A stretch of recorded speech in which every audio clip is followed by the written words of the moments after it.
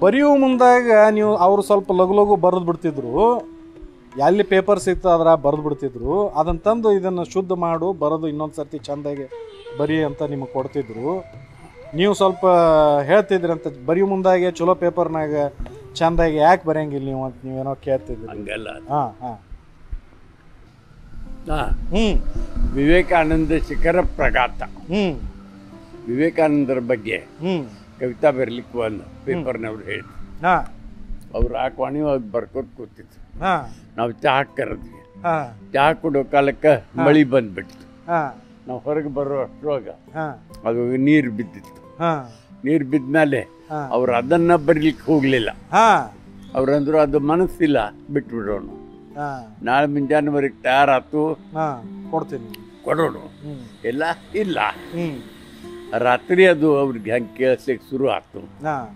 ಅದರ್ದ ಹಸ್ತಪ್ರತಿ ಹಾಕಿವಿ. ಹಾಂ ನಾಲ್ಕು ತಂತಿ ಒಳಗೆ ಹಾಕಿ. ಹ್ಞೂ ರೀ ಹ್ಞೂ ಚಿಕ್ಕರ ಪ್ರಘಾತ ಅಂತ ಹಾಂ ಬರ್ಲಿಕ್ಕತ್ತು ಹಂಗೆ ಬರ್ಕೊಂಡ್ರು. ಹಾಂ.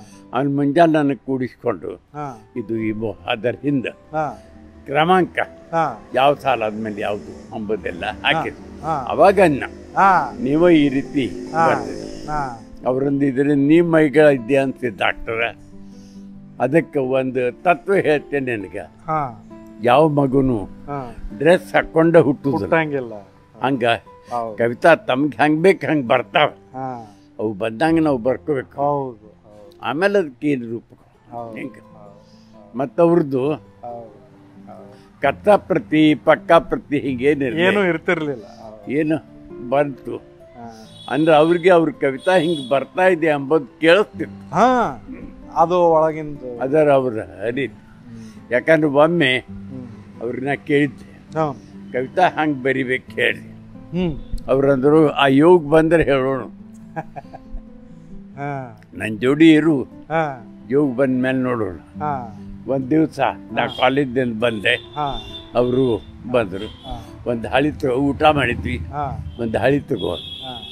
ಬರ ಬರ ಬರ ಕವಿತಾ ಬರೋದು ಸಹಿ ಮಾಡಿದ್ರು ಡೇಟ್ ಹಾಕಿದ್ರು. ಹಿಂಗೆ ಬಂದ್ರೆ ಬರೀಬೇಕು ಮುಗೀತು.